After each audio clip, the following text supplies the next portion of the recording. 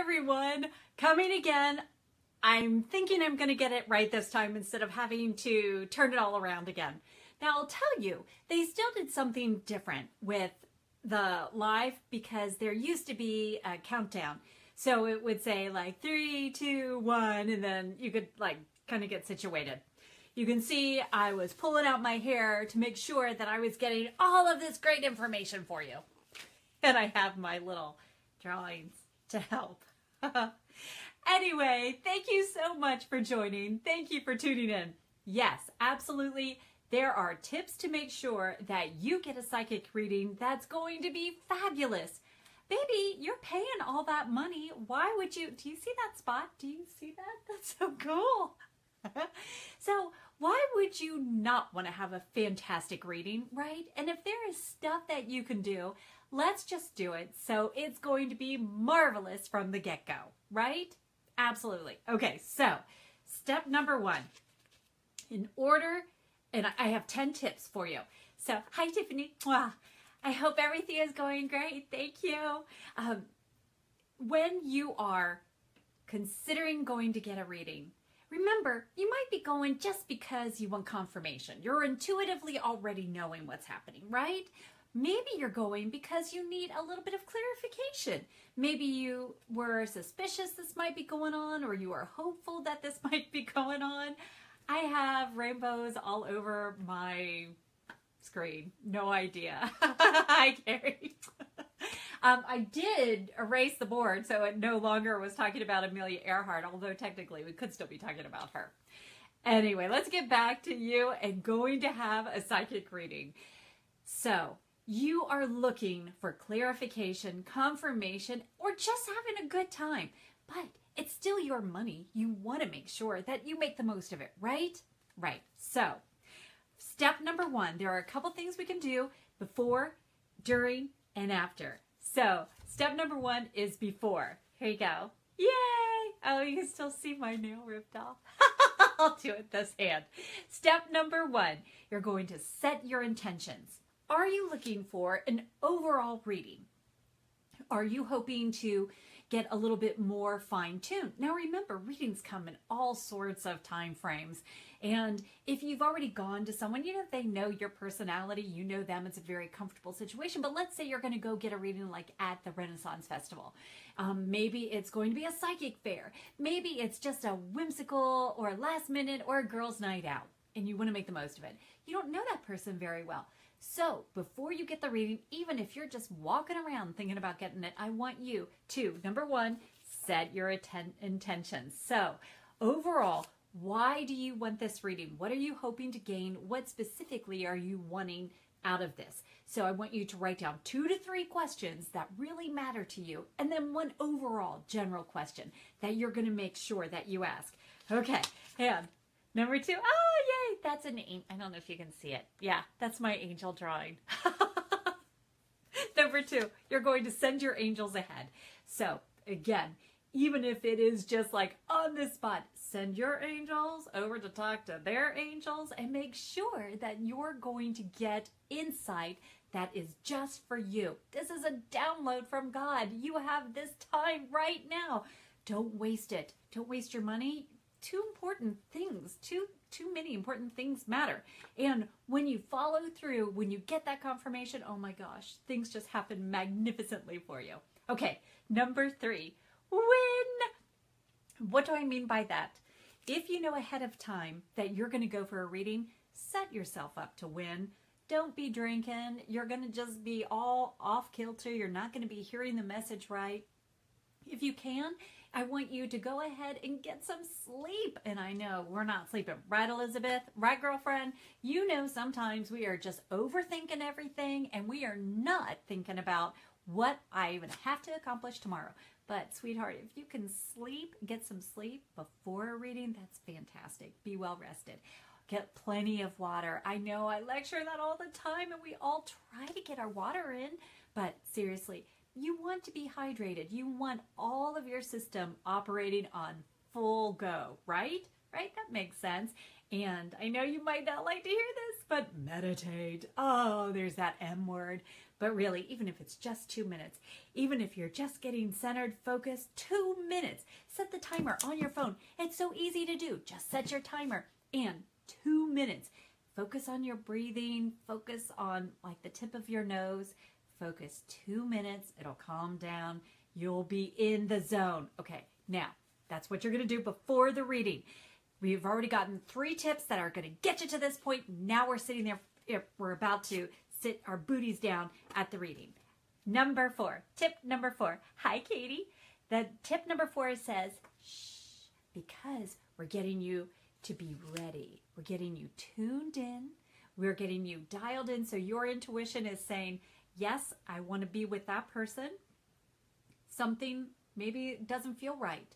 You're going to listen to that intuition so you don't sit down with the wrong person. That'd be horrible. If you intuitively know that is not the right person, you're not going to get the messages that you are meant to be hearing. What if you were really meant to go sit over there and they were going to be able to share all of this great stuff of the things that you're supposed to be doing during Mercury retrograde, which is coming up? You'd want to know that, right? I know, I know. Okay, number five. Yay! Be open. Now, what do I mean about being open? Because you're already open. You're already going to see a psychic. You know that you're open. What I'm talking about is clients in the West Coast love for me to just give a reading. They don't want any tools, nothing. They just want to hear it straight out. But clients on the East Coast and in the Midwest, Midwest goes both ways, but clients on the East Coast, they want something. They want to see it. They don't want to feel weirded out that you just have this download. Like, where is that coming from? How does she know that? Is she reading my mind? No. But if you are open to seeing someone maybe using cards, maybe someone using crystals, seriously, I had one of the best readings when they had just said, pull some crystals. The ones I pulled evidently were so informative. And I'll tell you something, sometimes if someone is really nervous, it's a client of mine, I'll just have them shuffling cards just to get them distracted so that they relax and open up. Use what you need to, but also be open. Okay, I hope I wrote this number right. Number six. Sorta, yeah. Number six. For your reading, you've sat down. I want you to be reading or ready. Sorry. Be ready. Be ready for your reading. And what do I mean by that? Well, I want you to have your list of questions ready. I want you to be able to tape record it and have it ready. Maybe you want to tape record on your phone. Find out how to operate your voice memo. Have your list of questions ready and take a cleansing breath. Have pen and paper ready. Know it's going to work. And while you're getting it out of your purse, go ahead and get relaxed. This is your time.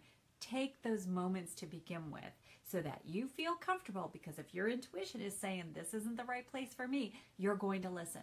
Honestly, I've had to turn away some people because it just didn't feel right. And I believe that as clients, they appreciated it because they were able to go and find someone else who would have probably been a better match for that reading.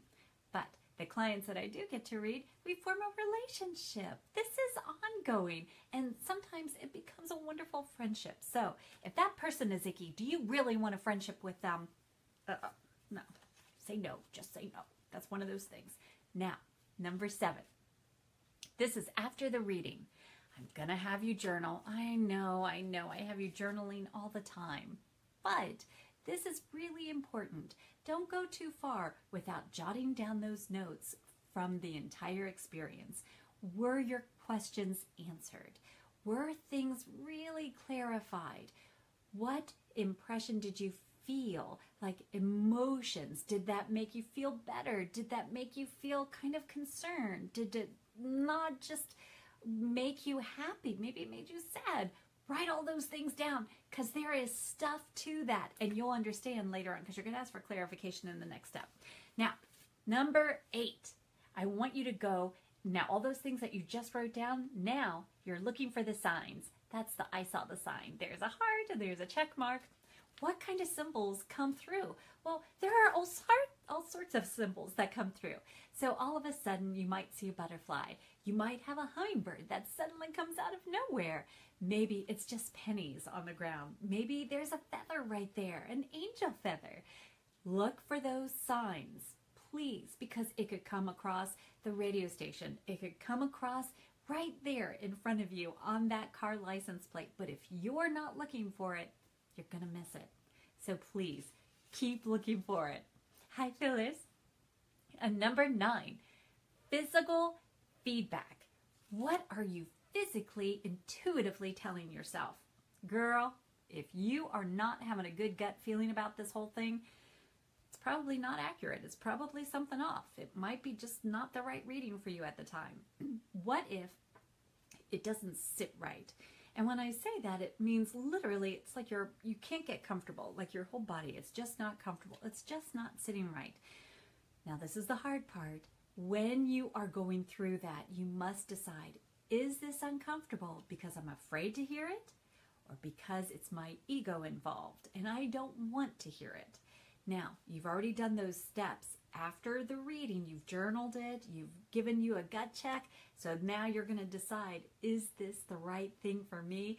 Or am I just not wanting to hear because egotistically it doesn't feel good? Or I want to beat myself up? Or I'm not ready to accept great things in my life?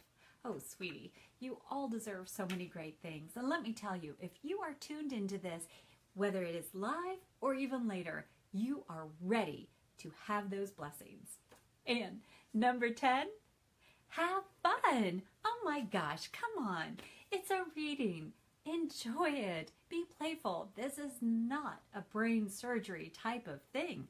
This is a time, really, truly, at the end of the day, to enjoy.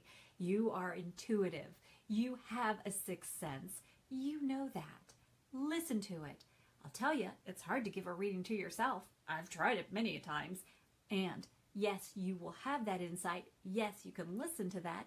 Yes, you will have signs. Yes, you will get that confirmation. But sometimes it's just so nice hearing it confirmed by someone else. Trust your intuition when you're going for a reading because if it doesn't feel right, it probably isn't it. Ultimately, you have the last laugh. It is up to you. You have free will. That reader is human. It's just what they're seeing at that time. They're not a mind reader. Remember that. They're just giving you a reading as it is at that time. You can time change the time frame. You make a difference. You have that power. Oh, darling, you are simply amazing. And you are self-sufficient, intuitive. You are a sassy goddess. Girl, it is your time to shine please, whether it's celebrating National Psychic Week, whether it's celebrating Happiness Happens Day, which is today, whether it's just enjoying it's a Tuesday.